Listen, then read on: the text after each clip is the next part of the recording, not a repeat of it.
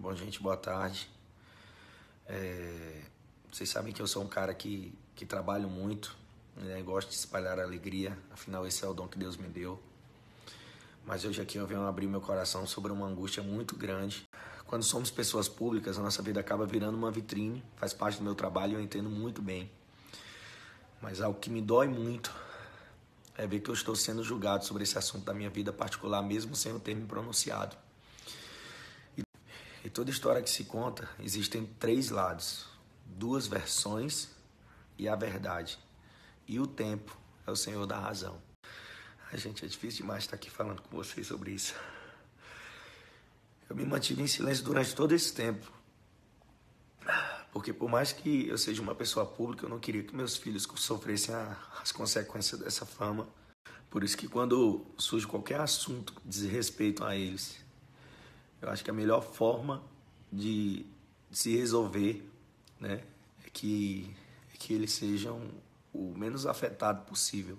Em respeito aos meus familiares, que durante todo esse tempo que não entendem o porquê de eu não ter me pronunciado, e aos meus fãs, é, eu digo para vocês que eu preferia passar por tudo isso sem me manifestar.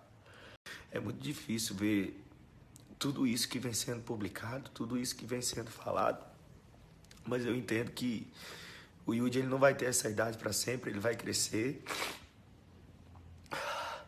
E uma coisa, e o que eu não quero jamais é que ele veja o pai falando da mãe. É, hoje, graças a Deus, eu trabalho muito para dar o melhor para eles. Tudo que eu tenho é deles, tudo. E eu trabalho para isso. Os meus filhos sempre vão ter o melhor que eu puder dar. Por isso que me dói muito ver essa injustiça perante o meu papel de pai, que todos os dias eu tento exercer com o maior amor do mundo.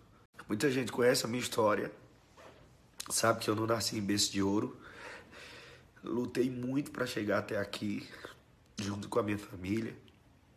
E eu quero ser essa referência para os meus filhos. Em 2012, com, com o fim da minha união estável, todas as minhas obrigações foram definidas pela justiça inclusive a pensão.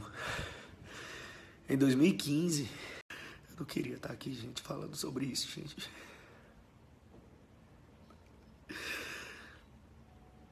Em 2015, quando graças a Deus a minha vida começou a mudar, além do acordo sobre a pensão,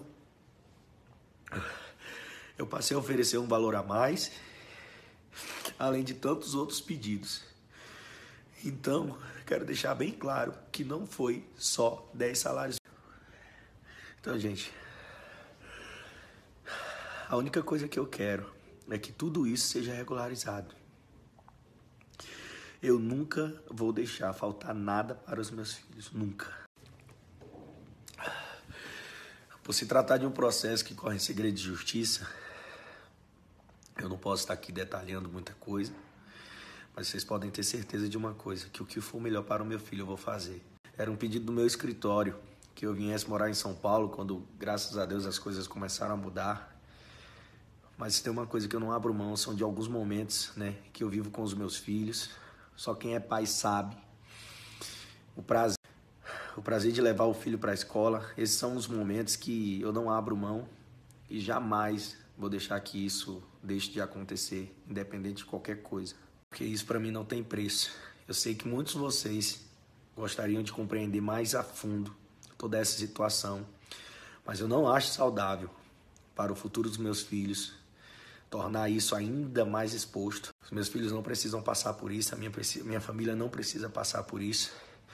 E hoje, com, com todo esse acesso à internet, é impossível né, preservar blindar eles de, tudo, de toda essa situação. Então não venham aqui com coisas que me defendam por um lado, mas que por outro exponham mais ainda tudo isso que tem acontecido.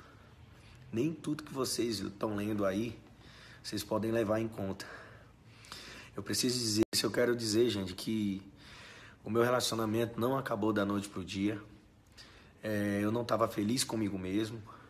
Eu não sou um cara perfeito, eu sou um ser humano. Mas desde quando eu comecei a colocar, desde quando eu comecei a colocar Deus na minha vida, muita coisa mudou. E hoje, graças a Deus, eu tenho um casamento blindado, uma família abençoada.